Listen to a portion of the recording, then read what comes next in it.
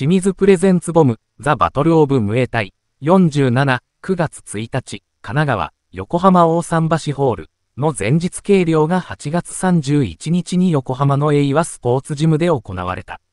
ダブルメインイベントの WBC ムエタイスーパーフライ級52.16キロダイヤモンド王座決定戦で対戦する吉成名高23イコールエイワスポーツジム。は52.12キロ対戦相手ペットアヌワットノーアヌワットジム対は51.22キロでクリアした。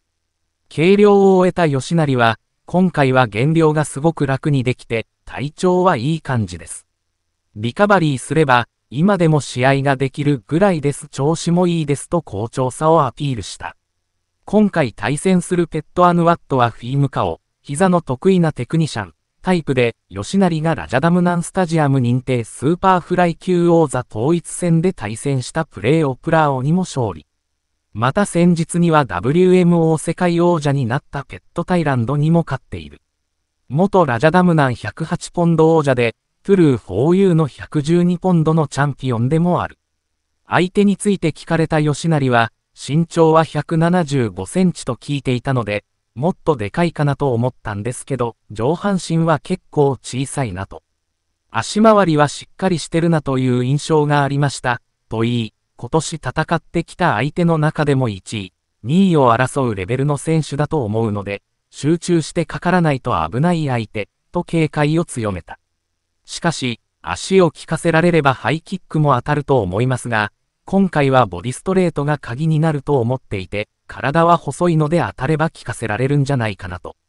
どんな展開になっても倒せるようには準備してきましたと KO 決着にこだわるという。日本初となる WBC ムエタイのダイヤモンドのベルトのかかった試合となり、実際にベルトを見てかっこいいですね。認められた選手しか挑戦する機会を守られないベルトだと思っているんで、僕は今回しっかり勝つことで、また僕も歴史的な選手の一員になっていけると思うので、絶対勝たないといけないと思いましたと気合を入れた。現在、台風10号が迫っている状況だが、僕は雨男なんでちょっと怖いんですけど、苦笑、明日はうまくそれてくれたら。台風の影響で横浜に暴風が起こるんじゃなく、僕が良い試合をして熱狂の渦を作りたいと意気込みを語った。また、もう一つのメインイベント、WBC ムエタイ世界フライ級。50.80キロ。王座決定戦で対戦する元ラジャダムナンスタジアム認定ミニフライ級王者の奥脇達也、24イコールエイワスポーツジム。は50.60キロ、シバラット王リンティダ、対は50.44キロで軽量をパス。奥脇は今回はフライ級なので減量もそんなになかったので調子はバッチリですと絶好調の様子だった。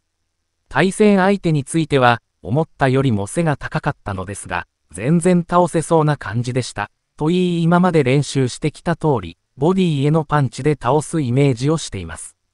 なだかもボディでの KO にこだわりがあるようですが、それ以上の衝撃を与える KO をします。なだかよりも僕の肩が試合は先なので、試合後に比べられても達也の肩が強かったと言われるような倒し方をしますと吉成よりもインパクトある勝ち方を目指すという。WBC タイトルダッシュ後には、ラジャダムナンのフライ級のベルトに挑戦していきたいとラジャダムナンスタジアム2階級制覇を目標に掲げた。